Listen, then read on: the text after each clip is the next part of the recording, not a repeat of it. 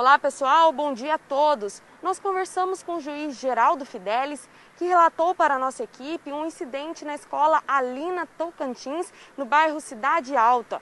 Um mesário foi encaminhado para a delegacia por ter mostrado uma arma para um eleitor. Coisa que não pode acontecer de maneira alguma, mesmo porque, primeiro erro, que ele não podia ter sido convocado, ele não podia ter sido convocado.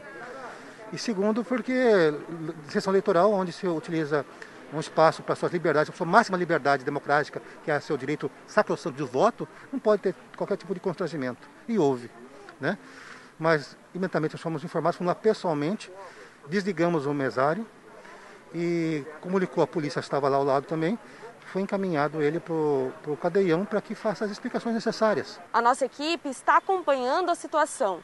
É o Play Agora nas eleições 2020.